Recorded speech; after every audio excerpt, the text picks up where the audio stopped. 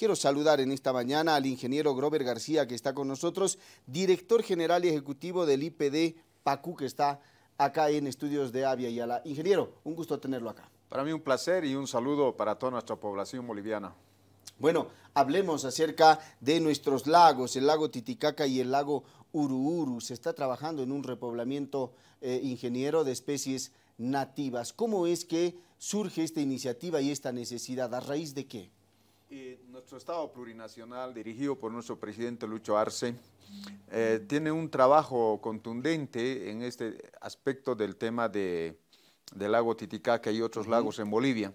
De antemano nosotros tenemos una firma de convenio con ALT, ALT, Ministerio de Desarrollo Rural y Tierras, IPDPACU, eh, los cuales hicieron un estudio sobre eh, sobre, digamos, que la población de peces en el lago ha ido disminuyendo y algunos en extinción. En ese entendido, nosotros eh, hemos firmado, reitero, el convenio con la decisión de nuestro presidente y hemos trabajado en un presupuesto eh, para poder invertirlo en la reproducción de alevines en este caso Mauri en primera instancia y en segunda instancia lo que es Karachi, Karachi amarillo y negro. Prácticamente el lago ha demostrado con los estudios de una disminución de un 85% de lo que es la población de peces en el lago.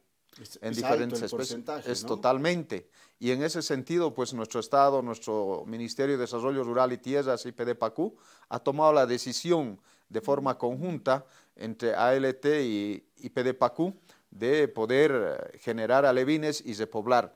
A la fecha hemos eh, intervenido en cinco provincias, 16 eh, municipios, prácticamente donde ha participado nuestro presidente, nuestro ministro y especialmente nuestros pesqueros, las alcaldías, los dirigentes departamentales, hemos hecho la siembra como corresponde, un total de 2.280.000 peces, que alevines que se ha sembrado en los diferentes sectores, tanto en Ururu, tanto en el lago Titicaca.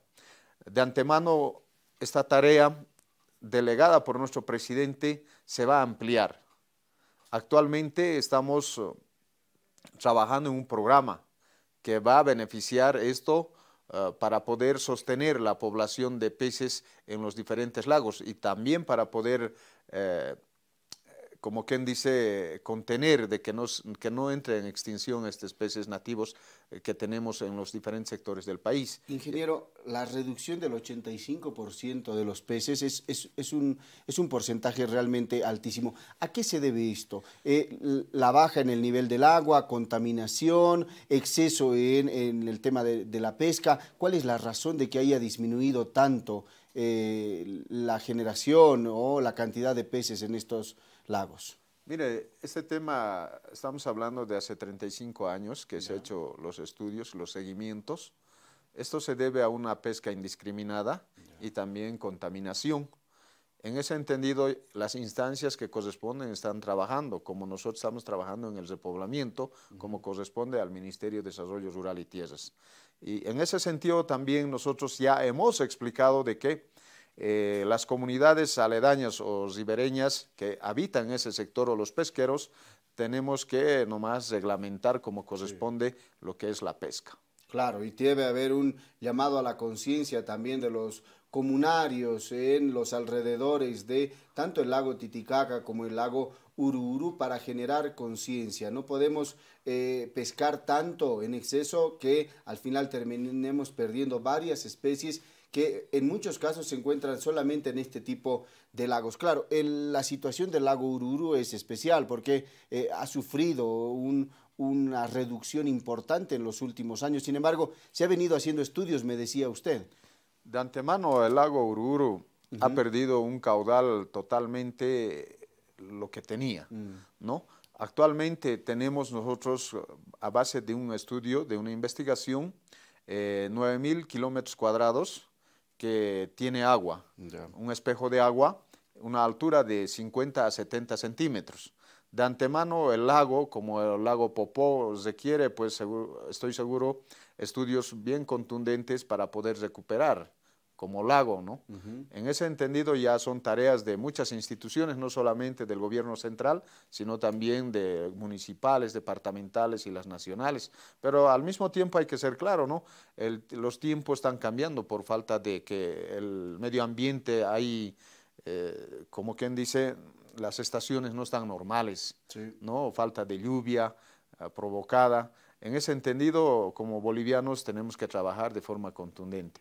Pero de antemano, eh, yo quiero decir desde acá de que este repoblamiento eh, tiene objetivos importantes.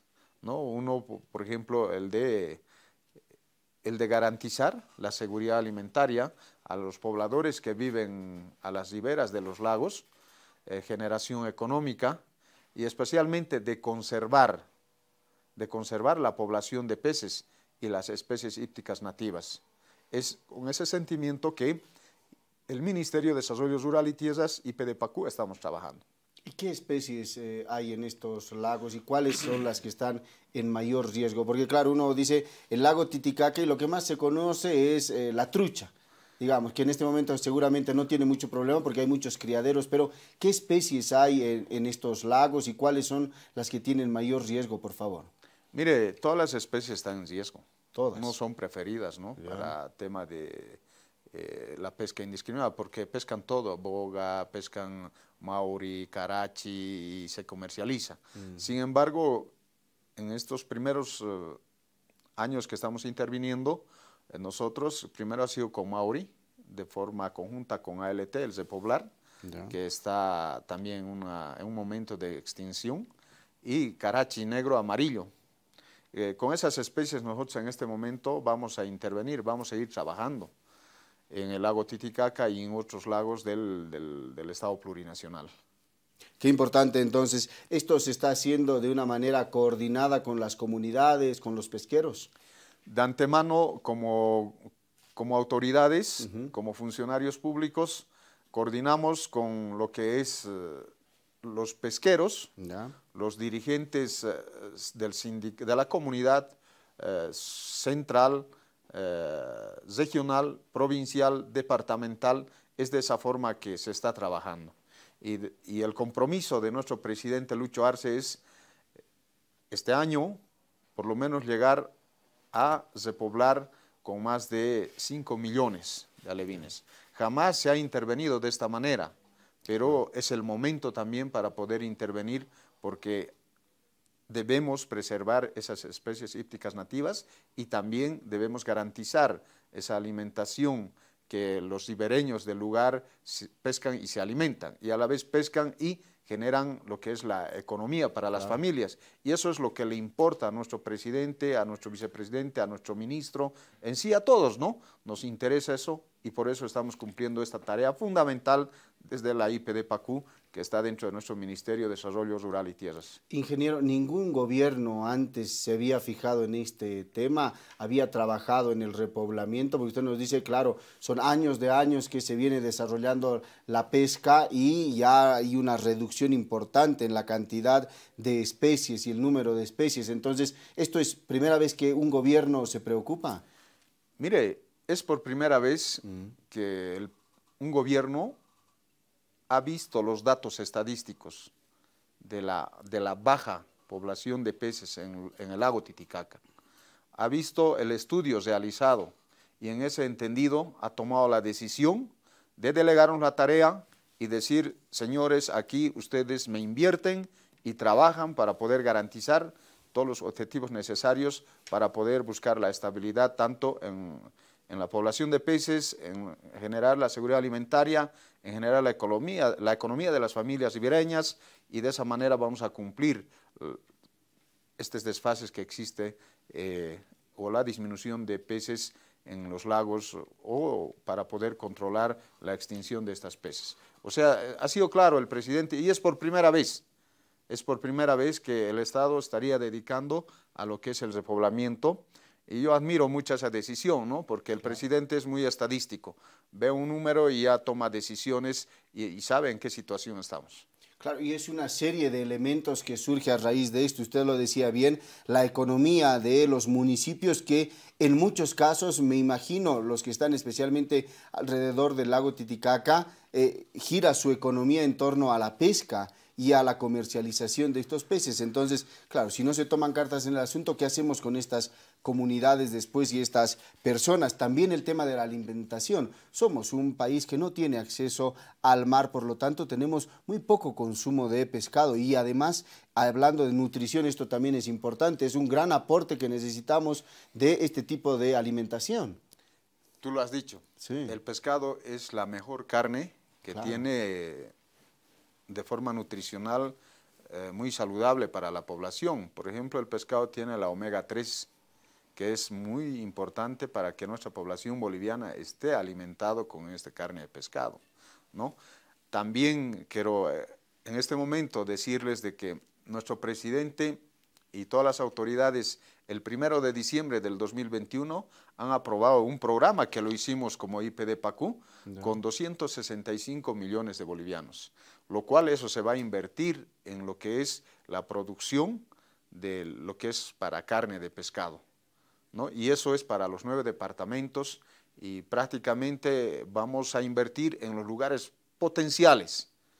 Potenciales. A la fecha hemos invertido 18 millones en tres meses, entre septiembre del 2022 a diciembre, 18 millones, los cuales garantizan el incremento de producción de carne de pescado más de mil toneladas, más de mil, mil ciento veintiséis toneladas.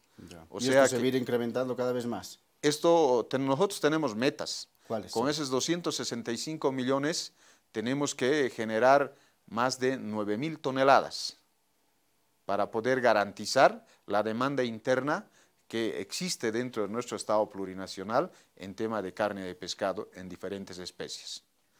¿No? Es importante y prácticamente nuestro Estado ha tomado una decisión fuerte en poder garantizar la seguridad alimentaria en el país y es un tema fundamental el de producir carne de pescado, ya sea de tambaquí, pacú, trucha, pejezey y conservar las especies hípticas nativas. Prácticamente pues eh, para nosotros como IPD PACU, y desde acá saludo también a nuestros técnicos del IPD PACU porque hacen un trabajo contundente y saludar también a todos los hermanos piscicultores, pesqueros, que sí tenemos un reto muy importante hasta el 2025. Claro, y el gobierno está pensando en ellos. Ingeniero, muchísimas gracias por esta visita y es fundamental darle a conocer esto a la gente. Claro, muchos dicen el gobierno ni los municipios se preocupan de este tema, pero claro, es realmente importante cuando uno lo ve en toda la dimensión, desde económico, alimenticio y demás. Hay que continuar con este trabajo. Muchísimas gracias, ingeniero. Mi persona es el agradecido y un saludo grande a toda nuestra población boliviana. Más que nunca necesitamos estar unidos y generar las mejores condiciones para nuestro, nuestro, nuestra sociedad boliviana. Muchas gracias. No, las puertas de Aviala siempre abiertas para dar a conocer este tipo de trabajo.